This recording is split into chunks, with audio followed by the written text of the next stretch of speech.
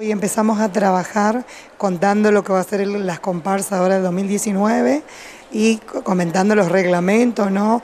la fecha. Es más, muchos de los municipios recién se van a integrar para que sientan que están acompañados, darles nuestras ideas y bueno, ir trabajando en conjunto de hacer un hermoso carnaval. ¿no? Es más, eh, también estamos trabajando con los distintos municipios, concejales, para que se pueda declarar de, interés de zona norte de las comparsas adultos mayores.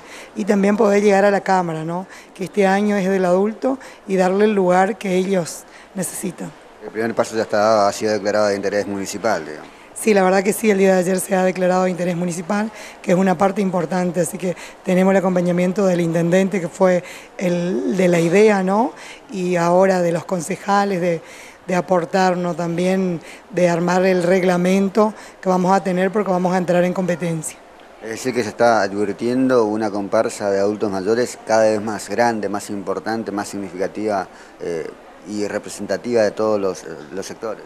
Sí, la verdad que sí, el año pasado lo habíamos hecho como participar nomás y éramos cuatro, cuatro comparsas que tenía acá la localidad del Dorado y dos vecinas que nos venían a acompañar, que era Victoria y 9 de Julio. Y hoy tenemos 11 municipios que nos quieren acompañar, más 7 de aquí del Dorado, así que tendremos nuestro espacio de comparsa.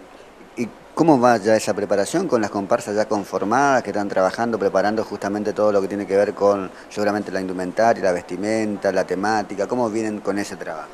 Y la verdad que ahora recién vamos a comenzar, ellos están viendo los distintos trajes que quieren realizar, es más, ellos se quieren elaborar, también están queriendo hacer carrozas, así que probablemente tengamos nuestra carroza.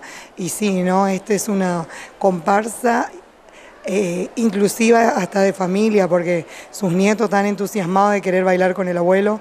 Y bueno, eh, esto va a comenzar el 15 de febrero si el tiempo no acompaña. Y bueno, daríamos apertura el día viernes.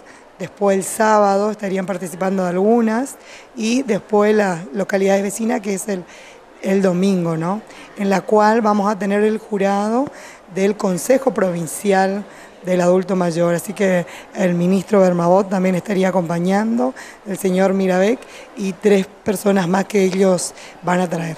Además del Dorado y Colonia Victoria, que están recontra confirmados que van a participar, ¿qué otros municipios podrían sumarse a, estas comparsas? Eh, se va a sumar, bueno, Piraí, Monte Carlo, 9 de Julio, Santiago Linier, Pozo Azul, eh, también está Mado creo que también está.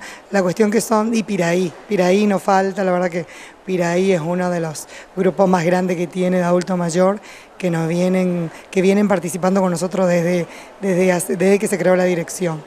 Y bueno, la verdad que son once que, que están ahí a, a su expectativa, ¿no? Mencionaban ahí adentro Puerto Rico, Puerto Libertad, Andresito, San Antonio, municipios que también parecen estar interesados. Sí, están interesados, por eso es la reunión hoy, es una charla informativa más que nada, de ver, contarle qué tenemos, qué pueden hacer y bueno, y poder que esto se, se lleve a cabo en febrero. Desde un principio dijeron que sí, así que contamos con ello, bueno, la idea es acompañarlo para que esto sea un éxito.